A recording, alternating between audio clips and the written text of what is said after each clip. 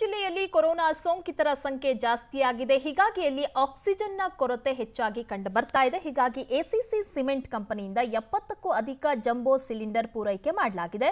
ಚಿತ್ತಾಪುರ ತಾಲೂಕಿನ ವಾಡಿ ಪಟ್ಟಣದಲ್ಲಿರುವಂತಹ ACC cement ಕಂಪನಿಯಿಂದ ಈ ಕೆಲಸ ಆಗಿದ್ದು, ನಿನ್ನೆ ಸಂಜೆ ವಾಡಿ ಠಾಣೆ ಪೊಲೀಸರ ಮೂಲಕ ಜಿಲ್ಲಾಡಳಿತಕ್ಕೆ ಎಪ್ಪತ್ತಕ್ಕೂ ಅಧಿಕ ಜಂಬೋ ಸಿಲಿಂಡರ್ ಅನ್ನ ಹಸ್ತಾಂತರ ಮಾಡಿದ್ದಾರೆ. ಪೊಲೀಸ್ ಭದ್ರತೆಯಲ್ಲಿ ಕಲಬುರಗಿ ಜಿಮ್ಸ್ಗೆ ಸಿಲಿಂಡರ್ಗಳನ್ನು ರವಾನೆ ಮಾಡಲಾಗಿದೆ. ಎಸಿಸಿ ಸಿಮೆಂಟ್ ಕಂಪನಿಯ ಮಾನವೀಯ ಕಾರ್ಯಕ್ಕೆ ಇದೀಗ ಸಾರ್ವಜನಿಕರು ಮೆಚ್ಚುಗೆಯನ್ನ ವ್ಯಕ್ತಪಡಿಸ್ತಾ ಇದ್ದಾರೆ.